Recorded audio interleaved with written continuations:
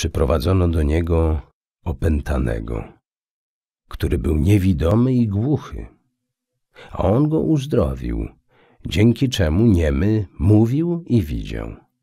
A wszelki lud zdumiał się, mówiąc, czy nie jest to syn Dawida? A faryzeusze słysząc to mówili, on wyrzuca złe duchy nie inaczej jak tylko przez Beelzebula, władcę złych duchów.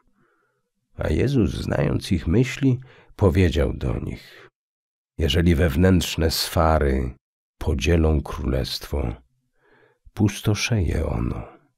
I żadne miasto i żaden dom podzielony przez wewnętrzne sfary nie będzie mógł się ostać. Jeżeli szatan wypędza drugiego szatana, to z samym sobą pozostaje w sporze. Więc jakże jego królestwo będzie mogło się ostać? A jeżeli ja mocą Belzebula wypędzam złe duchy, to czyją je mocą synowie wasi wypędzają? I oto oni będą waszymi sędziami. A jeżeli ja mocą Ducha Bożego wypędzam złe duchy, to Królestwo Boże już do was przybyło.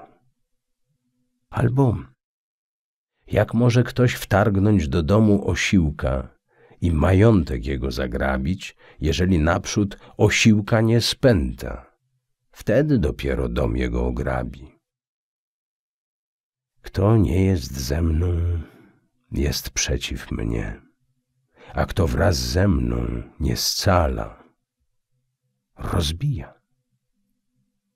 Dlatego mówię wam, każdy grzech i każde bluźnierstwo będzie człowiekowi wybaczone, ale bluźnierstwo przeciw duchowi wybaczone nie będzie.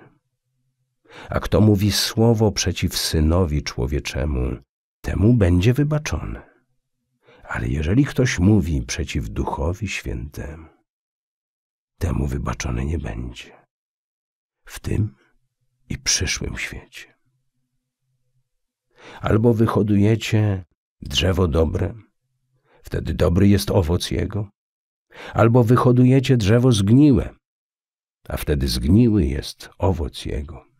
Każde drzewo jest poznawane z owocu swego. Wy lęgu żmijowy, jak możecie mówić o dobru, skoro sami jesteście źli? Przecież według obfitości serca mówią usta człowieka. Dobry człowiek dobro na jaw wydobywa, z dobrego skarbca swojego serca podczas gdy zły zło dobywa na jaw ze złego. A ja wam mówię, że człowiek z każdego zbytecznego słowa, które wypowiada, będzie musiał zdać sprawę w dniu sądu. Albowiem według słów swoich będziesz usprawiedliwiony i według słów swoich będziesz skazany. Wtedy odpowiedzieli mu niektórzy uczeni w piśmie i faryzeusze. My chcemy zobaczyć znak, który czynisz, nauczycielu.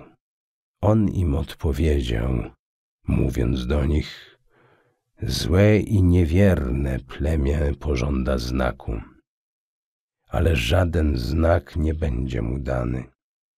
Poza znakiem Jonasza, albowiem jak Jonasz Trzy dni i trzy noce przebywał w brzuchu wieloryba. Tak syn człowieczy trzy dni i trzy noce przebywać będzie w sercu ziemi. Mężowie Niniwy powstaną na sądzie przeciw temu pokoleniu i wydadzą na niego wyrok potępienia, albowiem pokutowali na wezwanie Jonasza. Królowa południa powstanie na sądzie przeciw mężom tego pokolenia i wyda na nich wyrok potępienia, albowiem przybyła z kresów ziemi, aby posłuchać mądrości Salomona. Ale tutaj spójrz, jest ten, który znaczy więcej niż Salomon.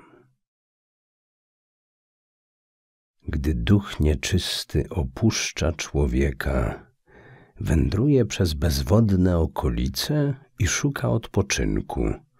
I nie znajdując go, mówi: Powrócę do domu, który opuściłem. I przychodzi i znajduje go wolnym, czystym i przystrojonym. A wtedy idzie tam, sprowadza siedem innych duchów, gorszych od niego samego. A one tam wszedłszy mieszkają. Aż w końcu z owym człowiekiem dzieje się gorzej niż przedtem. To samo stanie się z tym złym pokoleniem. A gdy przemawiał do tłumów, spójrz, matka jego i bracia jego stanęli na dworze i chcieli z nim mówić. Ktoś rzekł do niego, spójrz, twoja matka i twoi bracia stoją na dworze i chcą z tobą mówić. On jednak odpowiadając, rzekł do swojego rozmówcy, kto jest matką moją i kim są bracia moi. I podniósł rękę nad uczniami swymi, mówiąc, spójrzcie, to matka moja i bracia moi. Albowiem każdy, kto wypełnia wolę Ojca mojego, jest moim bratem i siostrą i matką. Owego dnia Jezus wyszedł z domu i usiadł nad morzem. A gdy zebrały się dokoła niego wielkie tłumy, wstąpił do łodzi i usiadł. A cały lud stał na brzegu i opowiadał im wiele w przypowieściach, mówiąc: Spójrzcie, przyszedł siewca, aby siać. A gdy siał, niektóre ziarna padły na drogę i wydziobało je ptactwo nadlatujące. A inne padły na skalisty ugór, na którym była odrobina ziemi i szybko wzeszły, a ponieważ nie miały podglebia, po wschodzie słońca zwiędły od skwaru i nie mając korzeni, uschły. Inne padły między oset, a oset wysoko wybujał i zdławił je a jeszcze inne padły na ziemię wydajną i wydały owoc, jedne stokrotny, inne sześćdziesięciokrotny, a jeszcze inne trzydziestokrotny. Kto uszy ma, niechaj słucha. I przystąpili do niego uczniowie, pytając, dlaczego mówisz do nich w przypowieściach? A on odpowiadając, rzekł im: Bo wam, a nie im, dane jest w pełni poznać tajemnicę Królestwa Niebios. Albowiem temu, kto ma, będzie dane i będzie miał wszystko w nadmiarze, a temu, kto nie ma, będzie odebrane nawet to, co posiada. Dlatego mówię do nich w przypowieściach albowiem nie widzą widzącymi oczami i słuchającymi uszami nie słyszą i nie rozumieją. I wypełnia się na nich przepowiednia Izajasza, mówiącego: Słyszeć będziecie i nie zrozumiecie, i widzieć będziecie i nie poznacie albowiem serce ludu po to jest zatwardziałe, a jego uszy są głuche, a oczy zamknięte, aby oczami nie widzieli, a uszami nie słyszeli, a sercem nie rozumieli, i aby nie nawrócili się, i abym ich nie uleczył. Ale błogosławione są wasze oczy, bo widzą, i wasze uszy, bo słyszą.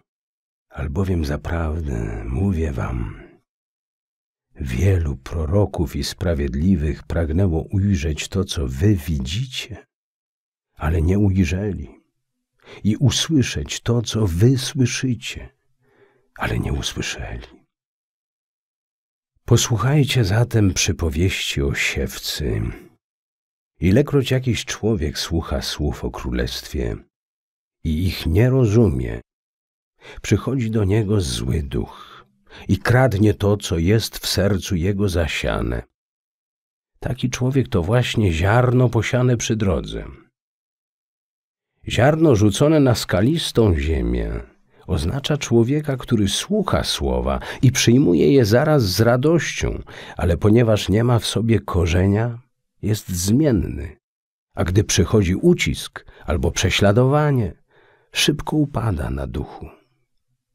Ziarno rzucone między oset oznacza tego, który wprawdzie słucha słowa, ale troski doczesnego czasu i uwodzicielskie bogactwo dławią to słowo i ono nie wydaje owocu.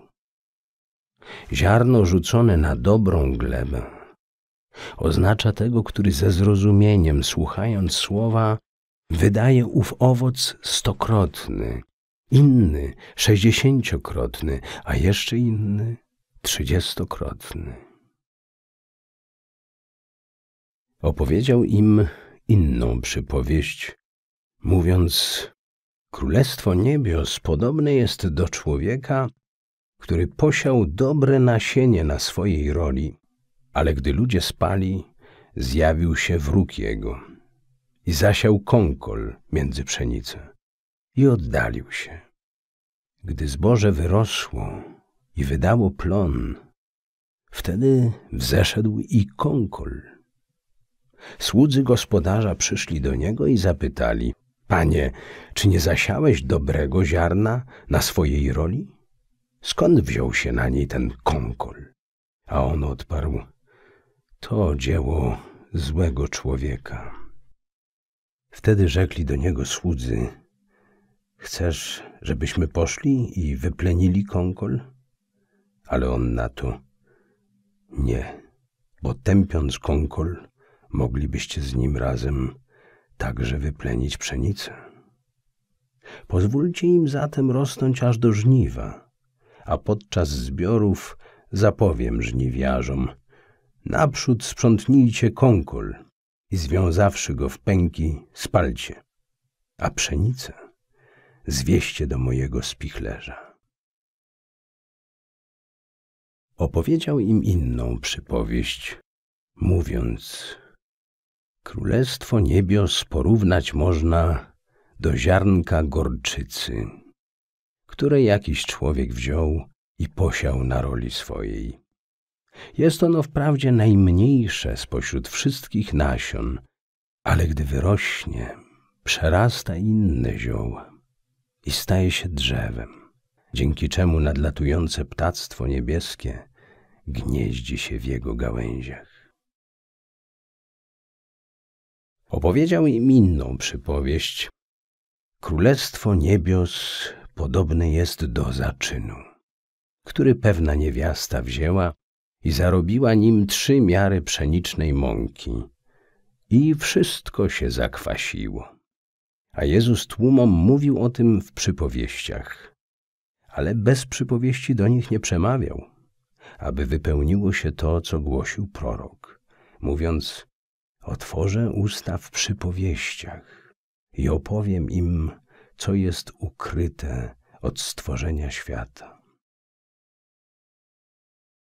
Wtedy zostawił tłumy i poszedł do domu. I przystąpili do niego uczniowie jego, mówiąc: Objaśnij nam przypowieść o konkolu na roli. A on odpowiadając im rzekł: Tym, który sieje dobre nasienie, jest Syn Człowieczy. A rola to świat. Dobrym nasieniem są synowie Królestwa. Konkolem są synowie zła. Wrogiem, który je sieje, jest diabeł. Żniwo to koniec świata. Żniwiarzami są aniołowie.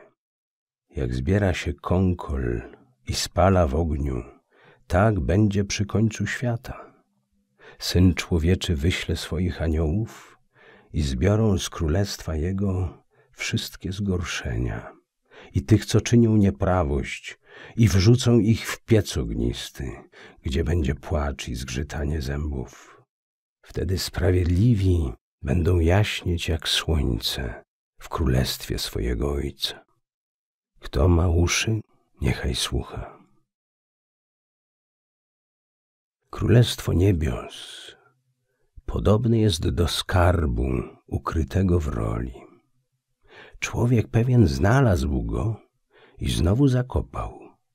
Radując się, idzie i sprzedaje wszystko, co posiada i kupuje tę rolę. Królestwo niebios jest także podobne do kupca szukającego pięknych pereł.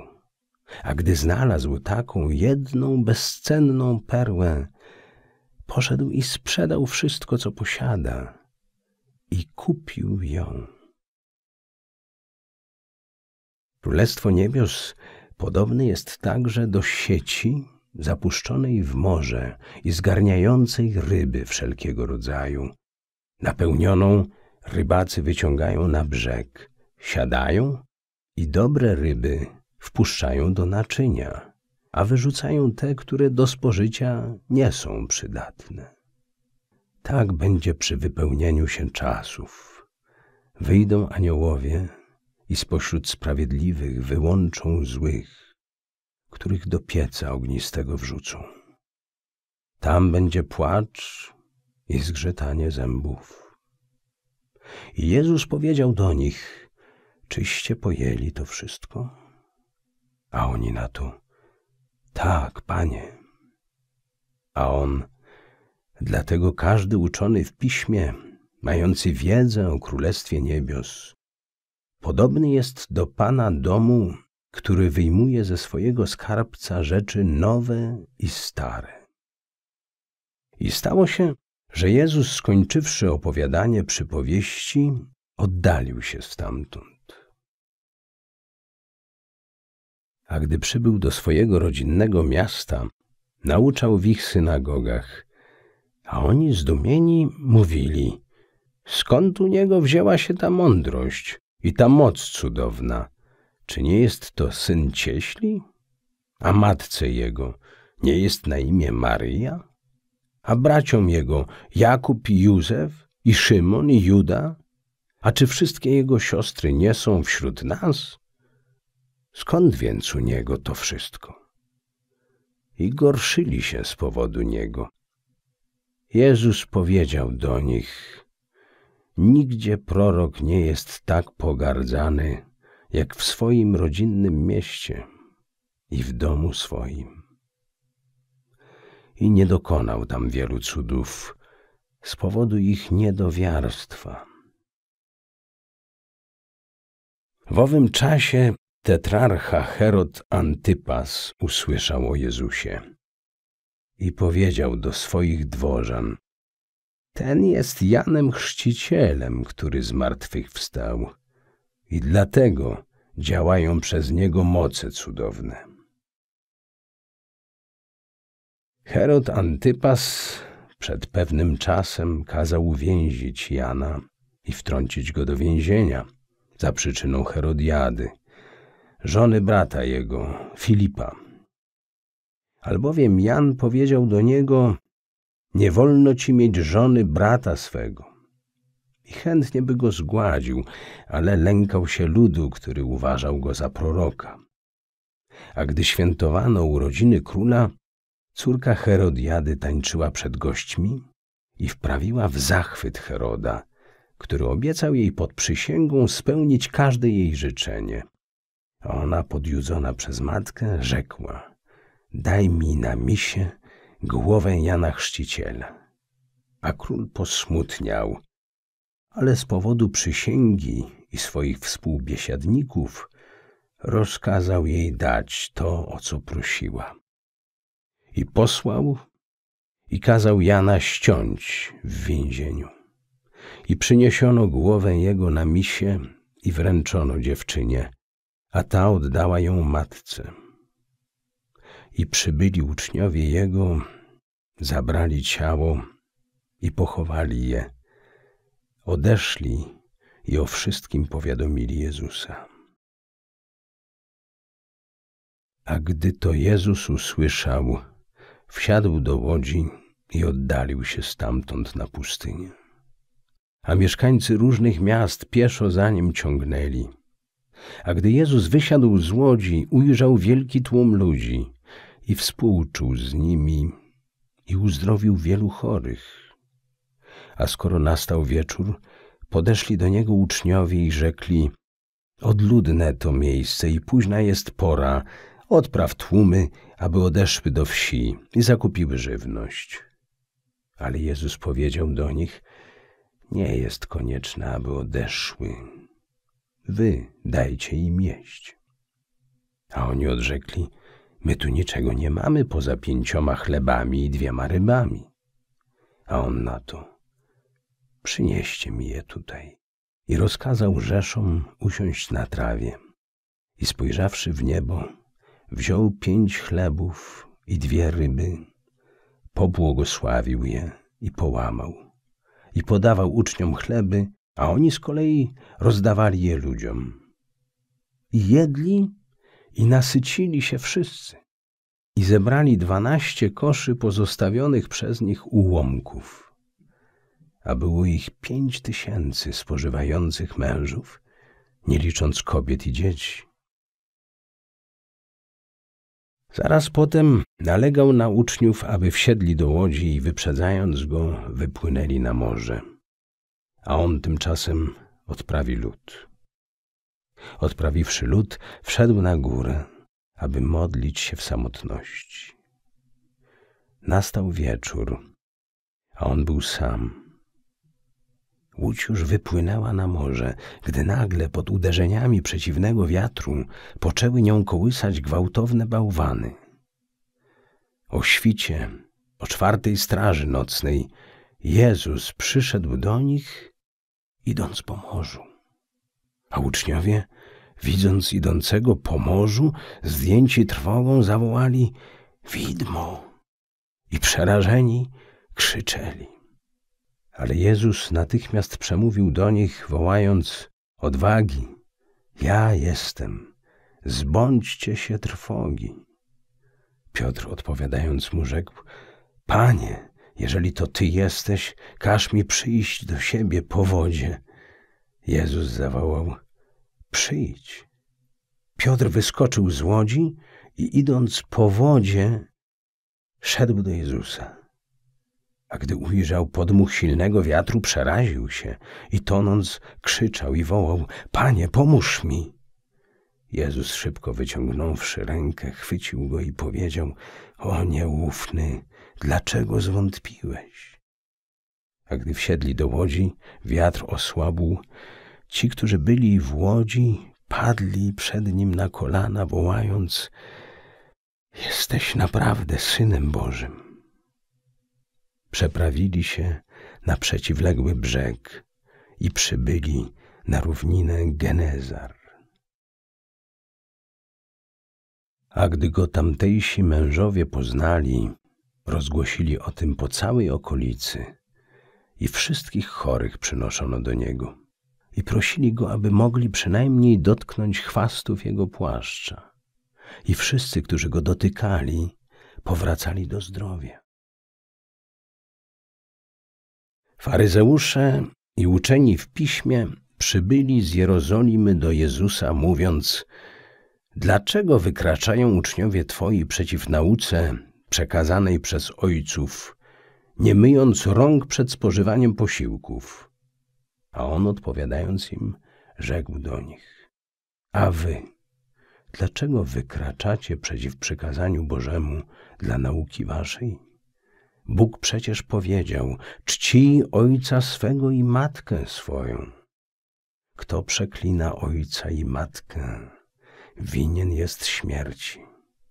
Wy jednak nauczacie, jeżeli ktoś do ojca swego albo do matki swojej powie, to wszystko, co winienem wam ofiarować, ofiarowałem świątyni.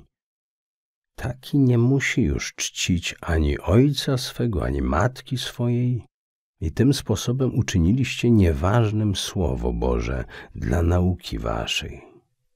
Obłudnicy. Słusznie przepowiedział Izajasz, mówiąc, ten lud oddaje mi cześć wargami, ale serce jego dalekie jest ode mnie. Dary mnie jednak mnie wielbią. Głoszą bowiem naukę pochodzącą od ludzi. Jezus wezwał do siebie lud, mówiąc do niego: Słuchajcie i pomnijcie. To, co wchodzi do ust, nie kala człowieka, ale kala człowieka to, co z ust jego wychodzi. Uczniowie jego przystąpili do niego i powiedzieli: Czy wiesz, że gorszą się faryzeusze, słuchając mowy twojej? A on odpowiadając, rzekł: Wszelka roślina będzie wyrwana, której nie zasadził mój Ojciec Niebieski. Zostawcie ich. Są ślepymi przewodnikami ślepych. A gdy ślepy prowadzi ślepego, obaj wpadną do rowu. A na to Piotr odparł, mówiąc, wytłumacz nam tę przypowieść. A on na to, czy i wy także nie jesteście pojętni?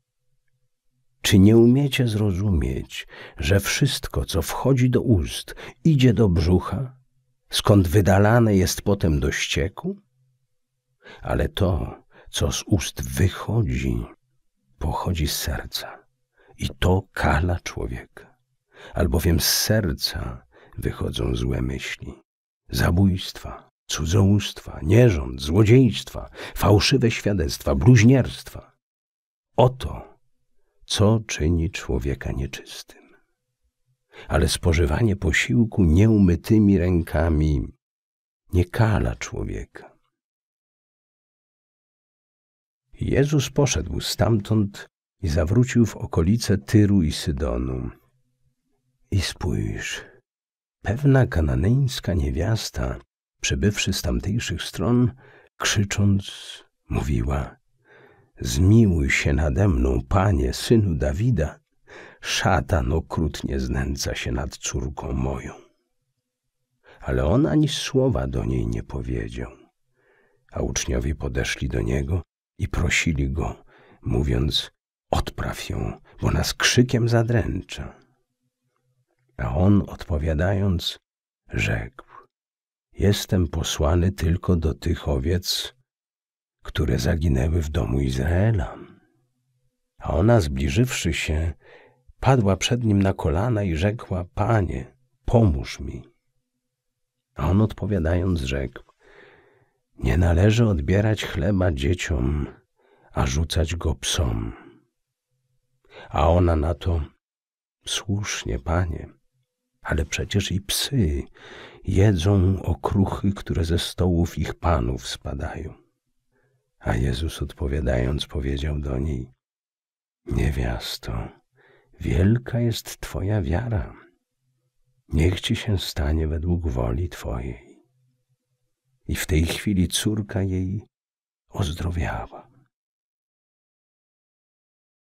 I Jezus idąc dalej, przybył nad Morze Galilejskie i wstąpił na górę i tam usiadł.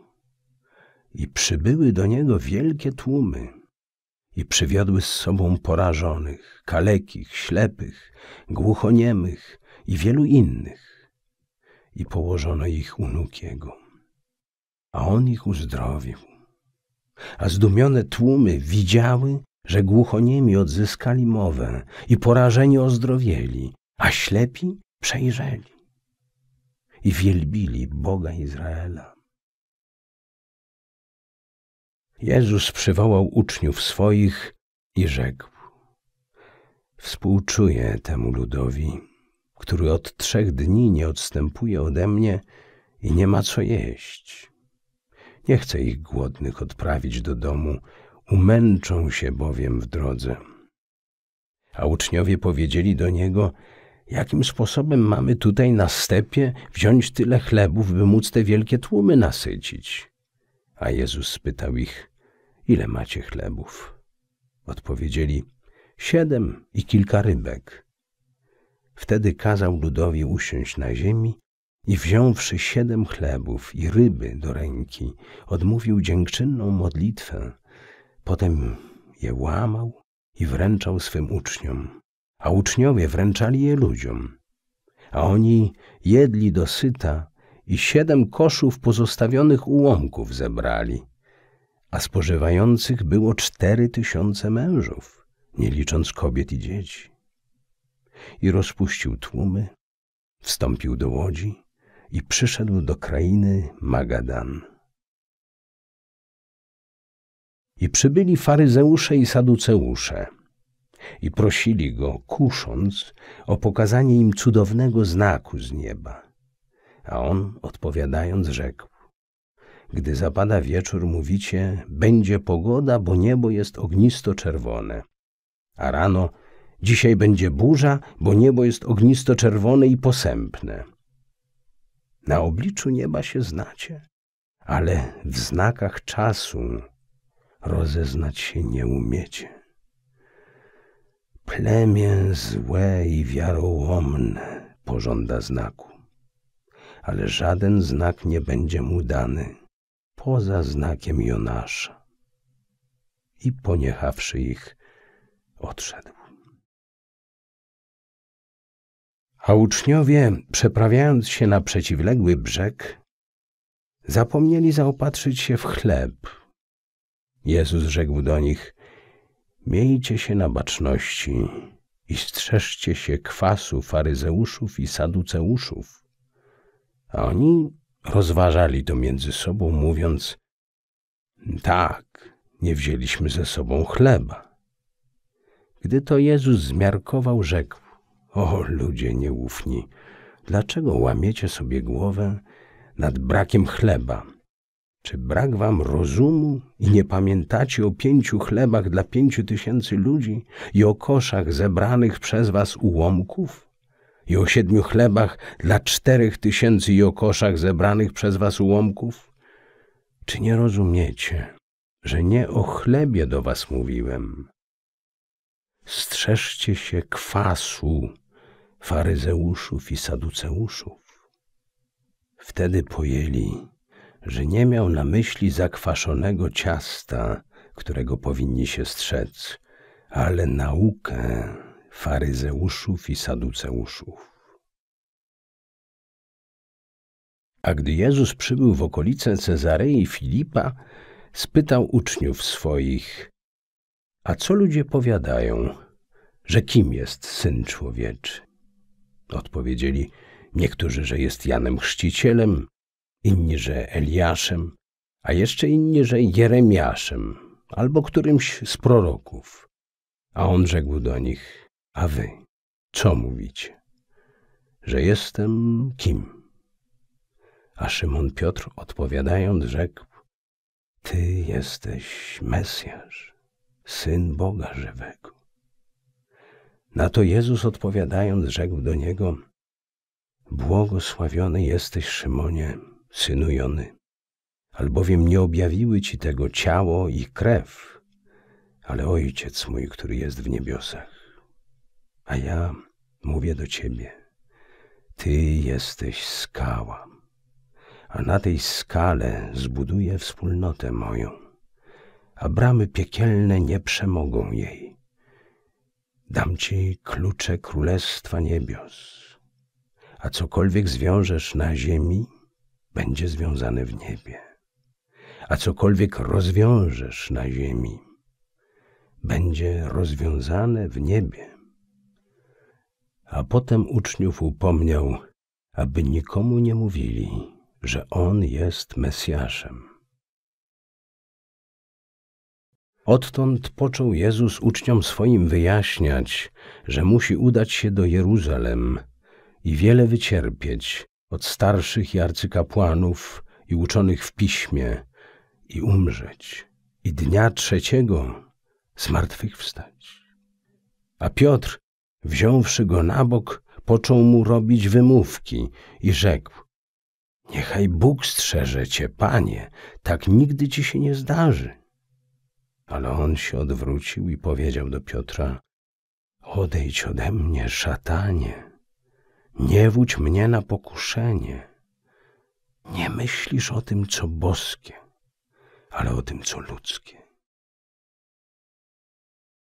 I powiedział Jezus do uczniów swoich: Ktokolwiek pragnie iść za mną, niechaj zapomni o sobie samym i niechaj weźmie swój krzyż i za mną idzie.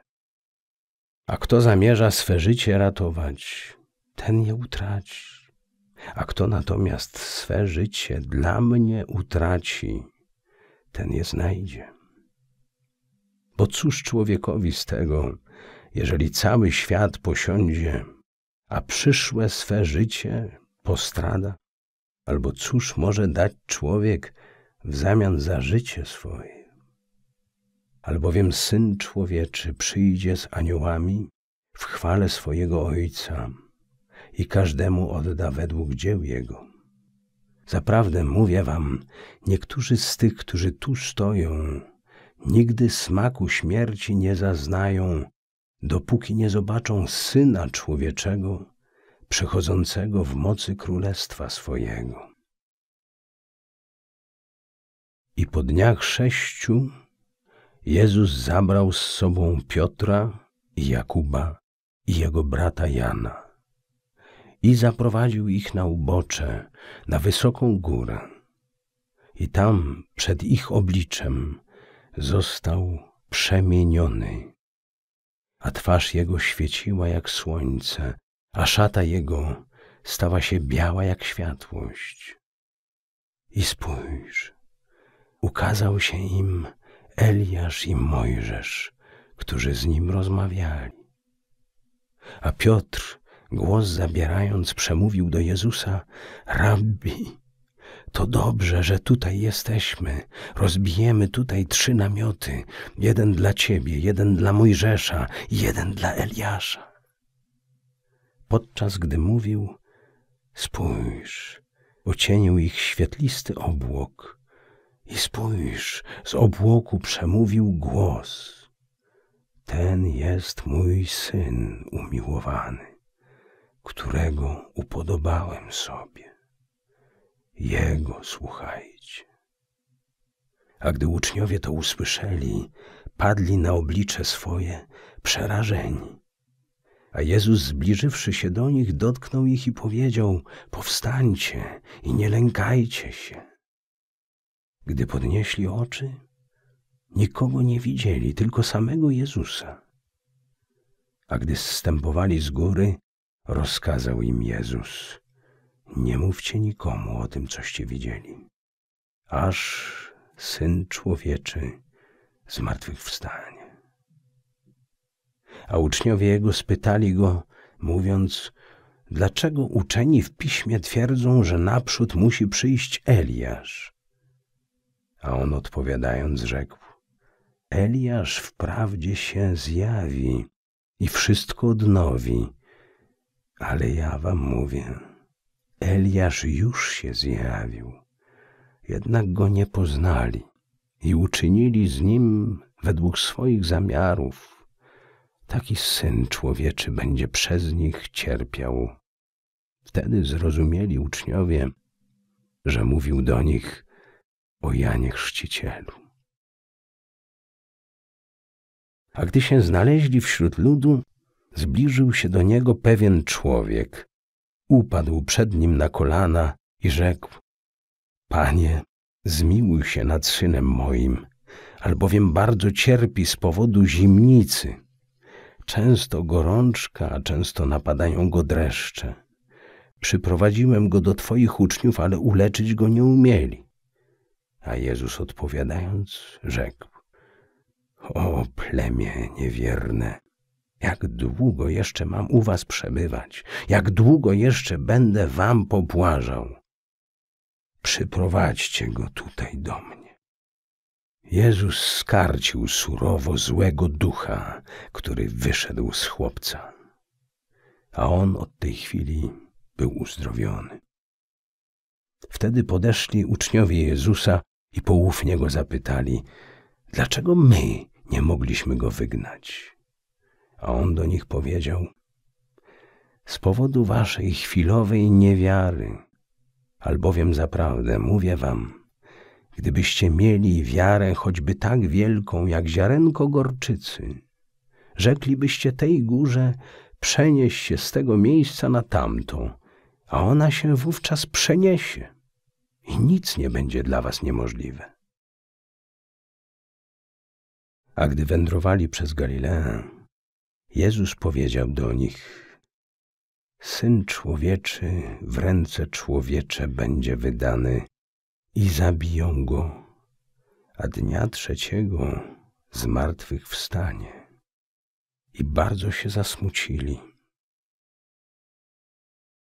A gdy przybyli do Kafarnaum, przyszli do Piotra poborcy świątynnego podatku. Wynosił dwie drachmy. I go spytali, czy wasz nauczyciel dwóch drachm nie płaci? On odrzekł, tak. A gdy wrócił do domu, ubiegł go Jezus i spytał, co sądzisz, Szymonie, od kogo królowie ziemi pobierają podatki i cło? Od synów swoich, czy od ludzi postronnych? A on odparł, od postronnych. A gdy powiedział od postronnych, rzekł do niego Jezus, zatem synowie są od płacenia zwolnieni. A ponieważ nie chcemy być powodem zgorszenia, idź nad morze i zarzuć wędkę i weź pierwszą złowioną rybę i otwórz jej pyszczek, a znajdziesz w nim cztery drachmy. Weź je i daj im, za mnie i za siebie. W owym czasie uczniowie podeszli do Jezusa, pytając, kto jest największy w Królestwie Niebios? A on, przywoławszy dziecko, postawił je w pośród nich i powiedział, Zaprawdę mówię wam, jeżeli się nie nawrócicie i nie będziecie jak te dzieci, nikt z was nie wejdzie do Królestwa Niebios. Kto się sam uniży, jak to dziecko, będzie największym w Królestwie Niebios. A kto jedno z tych dzieci przyjmie w moim imieniu, mnie przyjmuje. Ale takiemu, który by zgorszył tych wierzących we mnie prostaczków, byłoby lepiej, gdyby mu kamień młyński uwieszono do szyi i utopiono w głębinie morskiej. Biada światu z powodu zgorszenia. Wprawdzie jest niemożliwe, aby zgorszenia nie przyszły, ale biada człowiekowi, przez którego zgorszenia przyjdą. A jeżeli ręka Twoja lub noga Twoja kuszą Cię do grzechu, odetnij je i odrzuć od siebie. Albowiem lepiej jest dla Ciebie wejść okaleczonym lub chromym do życia wiecznego, niż mając dwie ręce i dwie nogi być wtrąconym w ogień wieczny. A jeżeli oko Twoje kusi cię do grzechu, wyłup je i odrzuć od siebie. Albowiem lepiej jest dla ciebie wejść jednookim do życia wiecznego, niż mając dwoje oczu, być wrzuconym w ogień piekielny. Baczcie na to, abyście nie gardzili żadnym z tych prostaczków, albowiem mówię wam, ich aniołowie zawsze oglądają w niebie oblicze mojego Ojca, który jest w niebiosach. Syn człowieczy po to się zjawił, aby zmarnotrawione zbawić. Co sądzicie? Jeżeli jakiś człowiek posiada sto owiec, a jedna z nich gdzieś się zabłąka, czy nie pozostawi w górach dziewięćdziesięciu dziewięciu i nie pójdzie tam i nie będzie szukał zagubionej? A jeżeli się zdarzy, że ją odnajdzie, zaprawdę mówię wam, większa jest radość z powodu tej jednej, niż z dziewięćdziesięciu dziewięciu, które się nie zabłąkały. Podobnie jest z Ojcem waszym w niebiosach, który nie chce, aby jedno z tych małych zginęło. Gdyby twój brat zgrzeszył, idź i w cztery oczy udziel mu nagany. Jeżeli cię usłucha, zjednałeś sobie brata swego. Jeżeli jednak nie da ci posłuchu, weź z sobą jeszcze jednego człowieka lub dwóch, Każda sprawa musi być umocniona ustnym zeznaniem dwóch albo trzech świadków. A jeżeli on ich nie posłucha, opowiedz o tym całej wspólnocie. A jeżeli w końcu i wspólnoty nie zechce usłuchać, niech dla ciebie będzie jak poganin i celnik. Zaprawdę mówię wam, cokolwiek złączycie na ziemi, będzie złączone w niebie, a cokolwiek rozłączycie na ziemi, będzie rozłączone w niebie. Zaprawdę, znów do was mówię, jeżeli dwóch spośród was jednomyślnie o cokolwiek prosić mnie będzie na ziemi, to wszystko będzie im dane od Ojca, który jest w niebie. Albowiem gdzie dwóch albo trzech w moje imię się zbiera, tam pośród nich jestem. Piotr zbliżywszy się, powiedział do niego, Panie, ile razy mam przebaczyć bratu, który przeciw mnie zgrzeszył? Czy siedmiokrotnie? Jezus rzekł do niego, mówię ci, nie siedmiokrotnie, ale siedemdziesięciosiedmiokrotnie. Dlatego Królestwo Niebios podobne jest do króla, który chciał sprawdzić rachunki swoich dworzan. A gdy zaczął się z nimi rozliczać, postawiono przed nim jednego, który był mu winien dziesięć tysięcy talentów. Ponieważ jednak nie miał z czego ich zwrócić, pan, chcąc pieniądze z powrotem otrzymać, rozkazał sprzedać i jego, i żonę, i dzieci, i cały jego majątek. Wówczas dworzanin padł przed nim na kolana i prosił: Panie, bądź dla mnie wyrozumiały, a ja ci wszystko zapłacę. Pan ulitował się nad swym dworzaninem i puścił go wolno, i dług mu darował. A dworzanin, wyszedłszy, spotkał jednego spośród służby dworskiej, który był mu sto denarów dłużny. Chwycił go i dusił, wołając: Oddaj, coś mi jest winien. A ów padł przed nim na kolana i prosił: Bądź dla mnie wyrozumiały, ja ci zapłacę. Dworzanin odmówił i odszedł, a chcąc pieniądze odzyskać, wtrącił go do więzienia. A inni spośród współdworzan, widząc co się stało, strapieni, poszli i opowiedzieli panu swemu o całym zdarzeniu. Wtedy wezwał go pan i rzekł do niego: Ty sługo nikczemny, cały dług ci podarowałem, bo mnie o to prosiłeś. Czy nie powinieneś również współczuć ze swoim współdworzaninem, jak ja z tobą współczułem? I pan jego uniósł się gniewem i chcąc pieniądze odzyskać, które mu pożyczył, wydał go oprawcom. Mój Ojciec Niebieski tak samo z wami uczyni, jeżeli każdy z was bratu swemu z serca nie przebaczy. I stało się, że Jezus przestał wygłaszać te mowy, opuścił Galileę i udał się na drugi brzeg Jordanu, do krainy Judei, i szły za nim wielkie tłumy. On je uzdrawiał i przystąpili do niego faryzeusze, aby go doświadczyć i rzekli, czy wolno odprawić żonę z jakiejkolwiek przyczyny? A on odpowiadając rzekł, czy nie słyszeliście, że Stwórca na początku stworzył ich mężem i żoną i powiedział, człowiek porzuca ojca swego i matkę swoją i z żoną swoją się łączy i oboje będą jednym ciałem. Dlatego już więcej nie ma dwojga, ale jednym są ciałem. Co Bóg połączył, niech człowiek nie dzieli. A oni na to, dlaczego zatem Mojżesz pozwolił w prawie dać list rozwodowy i żonę swoją odprawić? A on odpowiedział, Mojżesz dla nieczułości serc waszych pozwolił żonę odprawić, ale tak na początku nie było.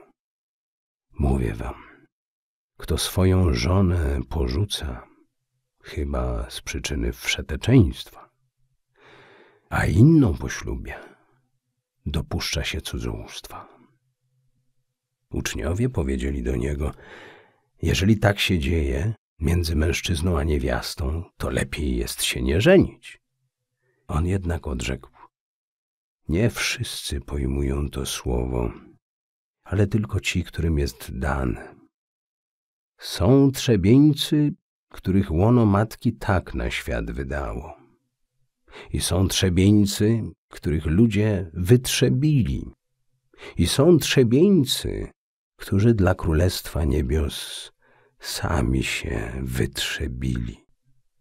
Kto zdoła to pojąć, niech pojmie. Znoszono do niego dzieci, aby na nie włożył swe ręce i za nie się modlił, chociaż uczniowie byli temu przeciwni. Lecz Jezus powiedział, zostawcie dzieci, nie przeszkadzajcie im do mnie przychodzić, przecież do nich należy Królestwo Niebios. I włożył na nie ręce i poszedł dalej. I spójrz, przyszedł jeden człowiek i powiedział do niego: Nauczycielu, co mam uczynić dobrego, aby życie wieczne osiągnąć? A on rzekł do niego: Dlaczego mnie pytasz o dobro? Dobry jest tylko jeden.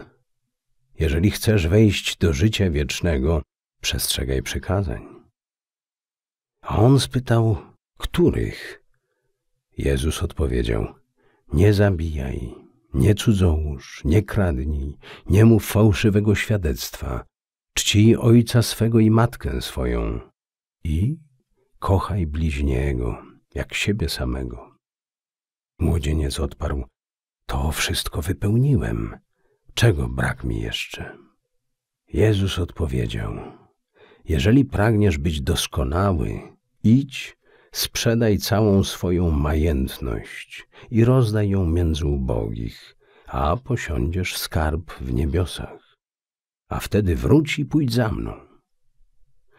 A gdy młodzieniec usłyszał te słowa, posmutniał i oddalił się, albowiem był właścicielem wielkiej majętności.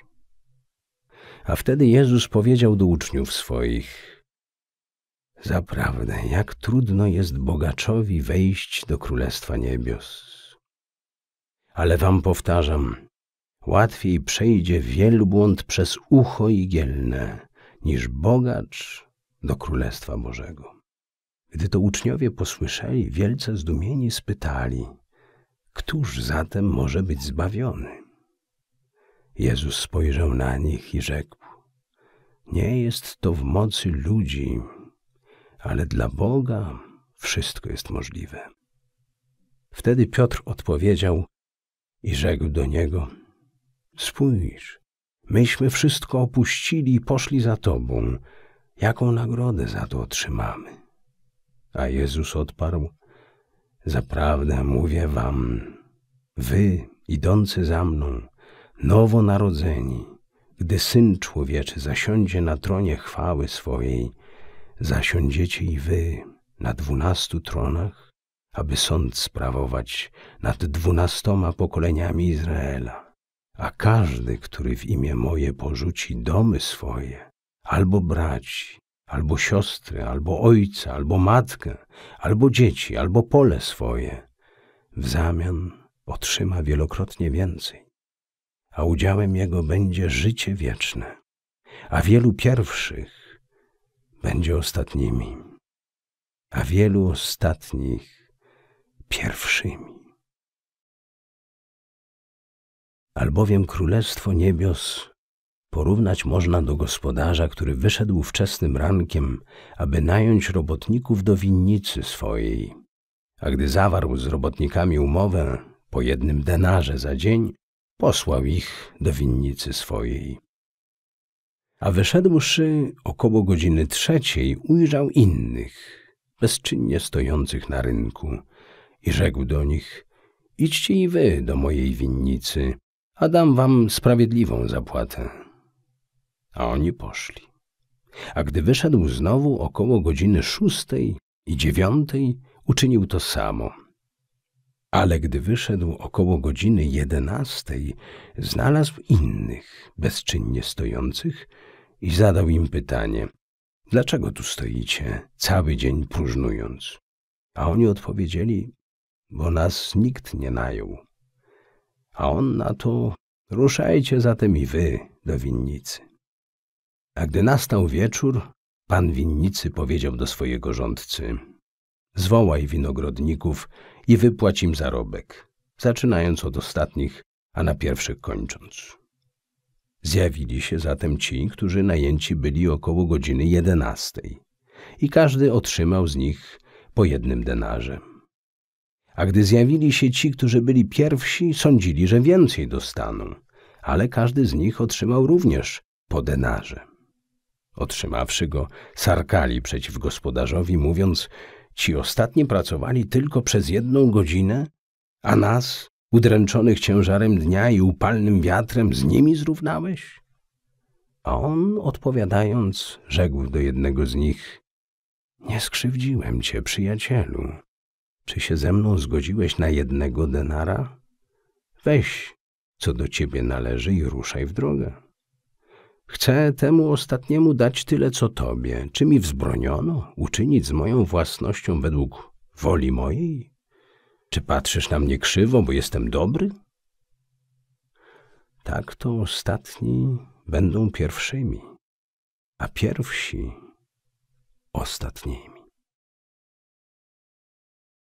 A gdy Jezus zamierzył pójść pod górę do Jeruzalem, wziął na bok dwunastu i idąc powiedział do nich, spójrzcie, idziemy pod górę do Jeruzalem, a Syn Człowieczy będzie wydany arcykapłanom i uczonym w piśmie, a oni go skażą na śmierć i w ręce pogan wydadzą i wyszydzą i ubiczują i ukrzyżują, a on trzeciego dnia zmartwychwstanie.